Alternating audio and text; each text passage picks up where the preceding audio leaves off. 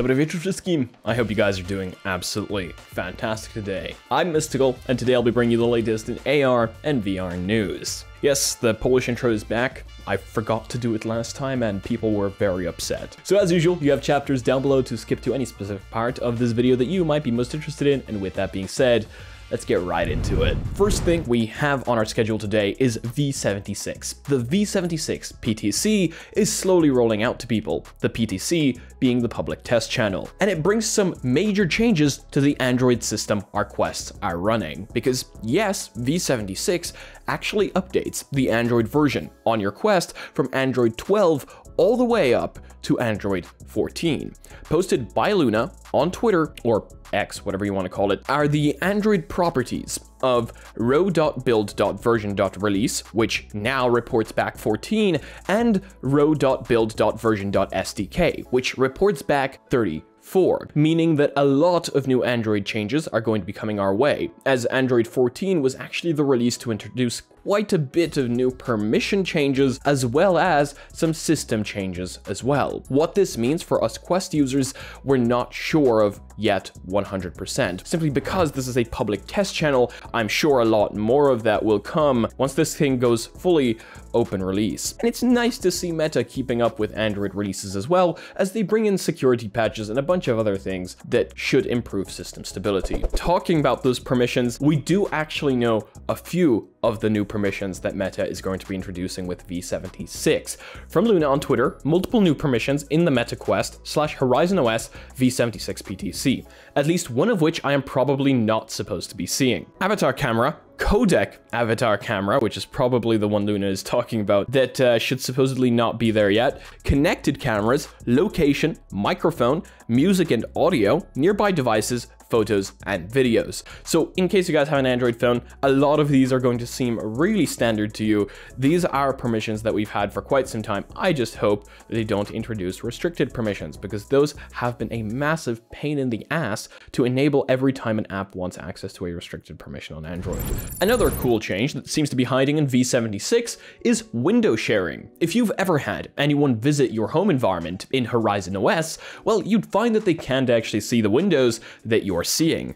Well, strings in Quest slash Horizon OS v76 PTC suggests that Meta is working on the ability to share windows with other users in Horizon Home, and possibly worlds. This will likely work similarly to SharePlay on Vision OS. So soon, hopefully, we might be able to share windows in our Horizon worlds and Horizon homes with other users, which sounds pretty cool. I wonder if this could replace something like workrooms. Another really cool feature that Meta is adding is the avatar selfie. This was first brought to my attention on our Discord, which you can check out down below in case you want to be kept up to date or just chat with the community. We've recently done an overhaul. But anyway, avatar selfie Cam UI in MetaQuest slash Horizon OS v76 PTC. Doesn't seem to get enabled out of the gate though, which means that this is a feature that you will have to enable, and it's a pretty big one. It will actually work in third-party applications. So in case you guys have ever tried to share your camera inside a third-party app that you sideloaded onto the Quest,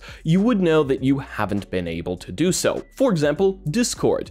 If you decided to turn on your camera within Discord, your Quest would ask you whether you want to allow permissions, but then all you would do is get a black screen. And this is what is now going to be taking over when you decide to share your camera permission. Now, this doesn't actually seem to work in MR or VR apps. You need to be inside the home screen for this feature to work, which is an unfortunate little thing, but if you do decide to use this inside your home screen, your Horizon OS avatar will now show up talking in front of a background inside that camera view. And here we can see Luna trying it out on Discord. This is really nice to see, considering the fact that we do need to have some sort of camera view within these apps that require the camera in order for them to properly work. What isn't nice is, according to Twitter, these avatars are not using audio to expression or IOBT, which is inside out body tracking. So uh, that's quite a shame. Hopefully that will come in a future update because it would definitely allow a lot more expression for these avatars. But hey, at least now you get a floating selfie camera. Another little something that Luna has found, I guess this episode is another simp for Luna essentially, I've data mined a tutorial for the upcoming Navigator system UI overhaul on Meta Horizon OS. This was discovered in V76 PTC. You can find my previous reporting on this in the quoted post below, but TLDR, this is currently planned for V77 Plus. So this is still a few updates away, however, it's going to be a fairly large overhaul to Meta's Horizon OS, so something a lot of us have been looking forward to. In case you don't know what the Navigator OS, it shifts the OS to having a traditional launcher overlay rather than a dock, plus new panel anchoring, etc. It is currently targeting a V77 Plus launch. And from the videos that Luna is sharing, it looks a lot better than the system we have right now. So something fairly large to be looking forward to in the future. Okay, now, last video, we spoke about the Bigscreen Beyond 2, and there's more really good news for the Bigscreen Beyond 2, as apparently it is selling really, really fast. I'm not surprised, they fixed a bunch of issues that people had with the very first release. That's showing, as Bigscreen has sold more Beyond 2 headsets in one day than original Bigscreen headsets in the first six months. That's absolutely crazy. It says this represents 10 times as many Beyond 2 headsets as compared to Beyond 1's launch day two years ago. The startup also said yesterday that it outsold Beyond 1's first day in just 25 minutes, and its first two months in just 4 hours. New orders of Beyond 2 and Beyond 2E will now ship in June, compared to April and May for the first batches respectively. Compared to the original, Beyond 2 adds clearer, wider lenses and independent IPD adjustment, all while actually weighing 20 grams less. The Beyond 2E also adds eye tracking via just 1.05 grams of tiny sensors. So absolutely crazy seeing those numbers and seeing these things fly off the shelves, metaphorically of course, because these aren't in stores. Now something interesting from LG. Yeah, a company we haven't heard a lot about in the XR space. LG ceases XR product efforts, but will continue R&D.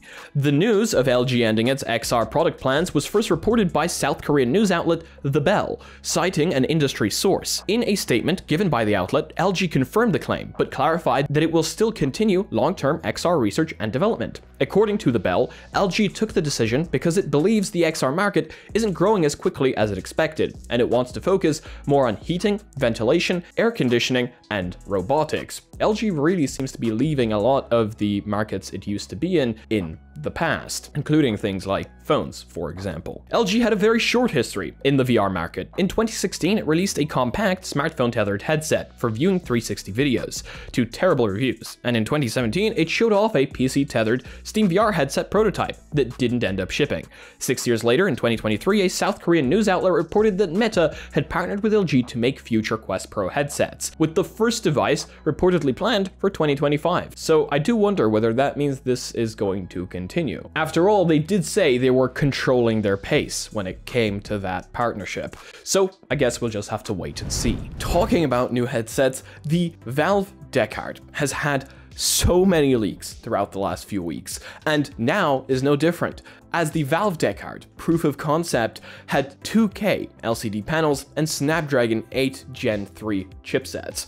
These were leaked by Sadly It's Bradley on Twitter, along with a GitHub page, actually, but that GitHub page has now unfortunately been taken down, which is incredibly suspicious by Valve. It's as if they're trying to hide something. Over the past four years, Valve has repeatedly confirmed that it's working on a new headset, strongly hinting that it will have a focus on wireless streaming from the PC, and a job listing mentioned it having inside-out tracking, camera pass-through, environment understanding, eye tracking, and hand tracking. In this time, many references to a Valve headset called the Deckard have been found in the code of SteamVR by VR enthusiast Brad Lynch's Discord data mining group. That Discord is absolute copium, by the way. Of course, joking, simp for Brad, I simp for Brad. Plot twist. Now, Lynch's data mining group has discovered a reference of seven pre-production models of Deckard in SteamVR code. POC A, POC C, Mini D, POC E, POC F, EV1, and EV2. POC stands for Proof of Concept, EV stands for Engineering Validation, and it's unclear what Mini D stands for.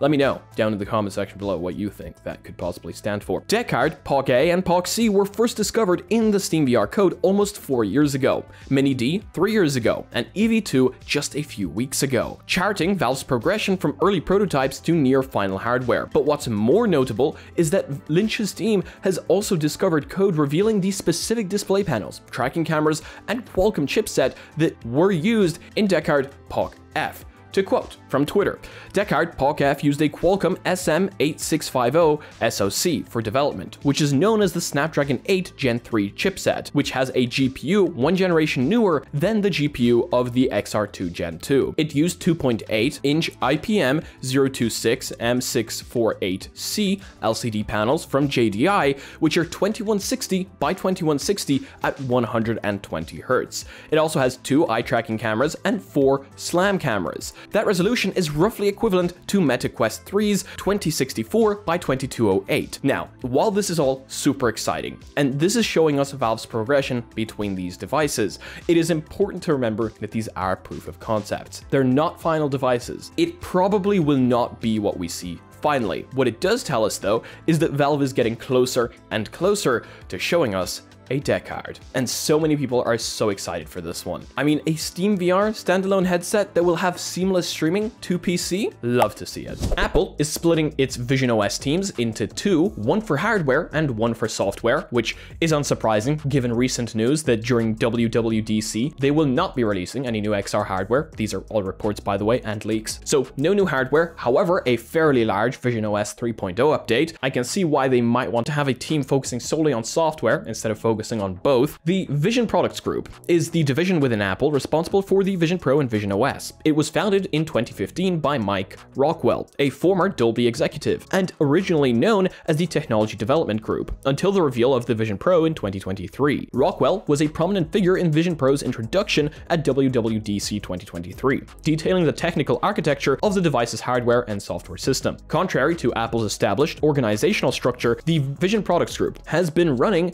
as a mostly mostly self-contained unit, with its own hardware, software, and content teams, but that's seemingly about to change. Today, in a bombshell report, Bloomberg's Mark Gurman says that Apple CEO Tim Cook has lost confidence in artificial intelligence chief John Giannandrea's ability to deliver the advanced Siri features the company recently announced it had to delay. In a rare shakeup, Cook is appointing Mike Rockwell to a new role under the company's SVP of engineering, where he will be in charge of Siri to get it back back on track. Yeah, Siri does need a uh, desperate overhaul. I do believe it doesn't even have the Polish language yet, which is quite upsetting. I mean, it's, it's been years. In his new role, Rockwell will also take the Vision OS parts of the Vision Pro group with him, meaning that he will be running both Vision OS and Siri. As for the Vision hardware teams he's been leaving behind, Rockwell will reportedly be replaced by Paul Meade, currently the Vision Products Group head of hardware engineering.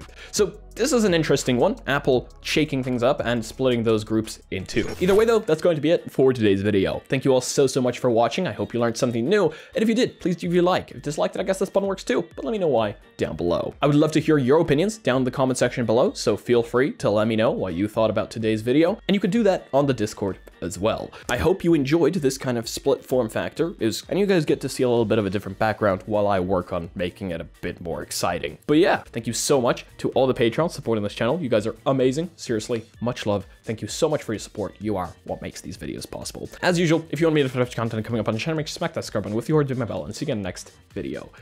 Peace. Whoa, that was that was actually really hard. I hope I didn't break. No, no, no, it's still fine. It's still fine.